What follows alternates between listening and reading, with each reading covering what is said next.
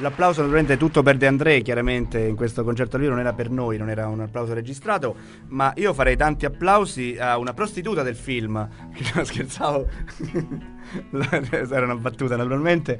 Eh, abbiamo qui al mio fianco in questo momento che è arrivata un po' in ritardo, per questo era un giochetto, insomma. Però veramente nel film interpreta la prostituta, una prostituta comunque. Sì, sono un'amica di Martina Stella, precisiamo. Un'amica, un'amica di Martina Stella nella vita, è una collega, insomma, una collega in tutti i sensi, sia come attrice che come, eh, che, che come prostituta nel film. Bene, eh, comunque non, è anche una collaboratrice, eh, diciamo, saltuaria direi, eh, di Radio Roma che eh, tra l'altro adesso mi diceva seguo, di... No, mi diceva di, di, ci segui da tempo anche un'ascoltatrice tra l'altro. È tutto con Radio Roma. Lei fa parte di Radio Roma, fa parte. Vi amo! e questo era rivolto naturalmente a Giuseppe, che vedevo subito che l'ha detto guardando a Giuseppe. Ma abbiamo augurato buon 2 giugno a tutti i nostri ascoltatori. Questo l'ho già detto prima. Tu, oh, Antonella, sei arrivata alla fine della trasmissione ora, e, mi, e, mi dici, e, mi, dici, pure quello che devo Ma augurare. vi devo dire la verità, questa sera abbiamo un altro film, adesso solo per fare una piccola digressione, che uscirà nelle. E lo so, non si può dire perché non Rosario poi. Dire, Rosario dice poi concorrenza quella. Comunque il film è punto rosso. Siamo qui per ballerina, però. Punto rosso che verrà dov'è nella sala sulla Cassia viene presentato vicino al picchio rosso. Cassia. Punto rosso, picchio rosso, no? sì, ok. sì, sì, tutto, tutto, tutto rosso sulla cassia, tutto quello che è rosso si va sulla cassia, che poi no. Senti, ritorniamo ancora, adesso scherzando perché con la Salvucci siamo amici da tanto tempo, con Antonella Salvucci, tra l'altro non l'avevamo neanche presentata ancora, Antonella Salvucci, che ricordiamo l'ultima volta l'avete sentita, l'avete sentita, ascoltata appunto su queste frequenze, 103.9, è stato perché no- è stata la nostra inviata fuori dal Teatro Ariston nella grande puntata, puntatona di, su Sanremo di 6 ore appunto qui in diretta su Radio Roma, eh, in occasione appunto del Festival di Sanremo. E Antonella ha realizzato le interviste fuori dal festival, fuori dal, dal teatro Ariston. E adesso si trova invece qui nel eh, teatrino Ariston qui a Radio Roma. Sì. E naturalmente ha, fatto, ha partecipato a questo film come eh, una collega di Martina Stella. Parlavo proprio nel film. Eh, Antonella, tu eh, come ti poni nei confronti di questo fenomeno? Beh, questo è un fenomeno davvero insomma, increscioso che sta crescendo poi, perché devo dire che ormai non si parla d'altro. E, eh, questo... Quasi crescioso allora visto che sta crescendo. Esatto, e poi questo diciamo... Eh, cortometraggio serve proprio a questo, a sensibilizzare il grande pubblico, portarlo al cinema. Guarda che, guarda che eh, Rosario Enrico la prossima volta non ti fa più lavorare con lui.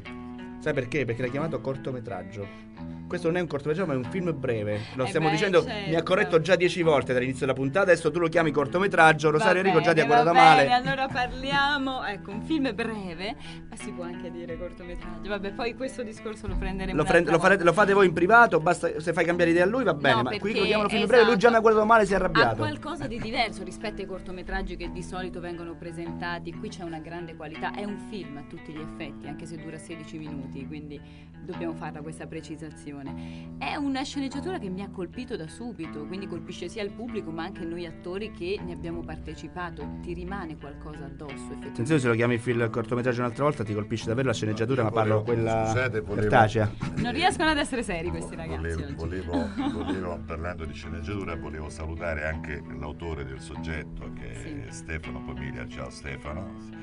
E ringraziarlo di, ecco, di aver collaborato eh, con maestria a questa, a questa storia, tra cui è, una- è un autore che lavora eh, spesso nel sociale, tra, eh, tra i vari film che ha scritto, oltre Ballerina, anche Ti voglio bene un genio che affrontava i problemi di un down, ecco, di un, di un eh, giovane disabile. Bene, E- noi- sì, No, no, perché dicevo che siamo nuovamente in ritardo con la pubblicità e stiamo ci sta incombendo, dobbiamo passare la linea alla regia immediatamente per la pubblicità che poi ritorniamo subito in studio. Linea Giuseppe.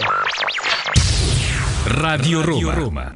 Io penso che la maggior parte, la maggior parte addirittura neanche guardano oltre quello, oltre la ragazza, quello che c'è alle spalle. In quel momento il il loro intento è ben è altro. questo, Forse alla sono anche poco informati da questo punto di vista, probabilmente. Infatti io tra l'altro vorrei par- far parlare Antonella, sono 9, milioni i clienti dei transessuali in Italia. Tu pensavi 9, 9 milioni sono, tu sapevi che erano È già una spasimanti. cifra imbarazzante. 9 milioni sono spasimanti, ma sono 9 milioni addirittura anche i clienti transessuali, non solo Ma i quello che spasimanti. fa paura poi in questo film emerge benissimo è che vengono uccisi i sogni delle ragazze. In questo caso una ragazza piena di belle speranze, giovane, carina, che aveva il sogno di fare la ballerina e invece viene dirottata su totalmente un'altra strada. Poi alla fine, vabbè, in questo caso vediamo l'uccisione della ragazza, ma quando vediamo l'uccisione di un sogno, quello è molto grave perché una persona non si riprende più, se non ci sono sogni non c'è vita e, e ti rimane un grande vuoto dentro. E questo infatti secondo me poi il tema che emerge da questo, da questo film. E io devo dire alla prima, quando eravamo l'8 marzo, quindi in occasione della festa della donna, ha colpito tutte, ma non solo le donne, quanto più gli uomini, perché si sentivano vicini a questo problema e non sapevano come arginarlo naturalmente. Senti, ehm, un'altra cosa ti volevo dire. E invece il eh, discorso del- dei rapporti non protetti che hai ascoltato prima, eh, spesso eh, c'è questo- questa richiesta mh, che sembra quasi partorita da una mente malata, una mente insensibile ma anche soprattutto incosciente. E soprattutto si parla di persone sposate che hanno una famiglia, hanno dei figli, una moglie che le aspetta a casa. Forse proprio perché non si sa più come provare emozioni sempre più grandi, anche trasgressive, anche che ti portano poi verso la morte, perché poi è quello, no? Eh, il finale, come abbiamo visto questo caso emblematico di quest'uomo con la tubercolosi, una forma gravissima che ha voluto girare il mondo facendolo apposta, quindi non solo facendo del male a se stesso, ma soprattutto agli altri. Quindi è quello che poi dai anche agli altri un tuo problema e non va bene.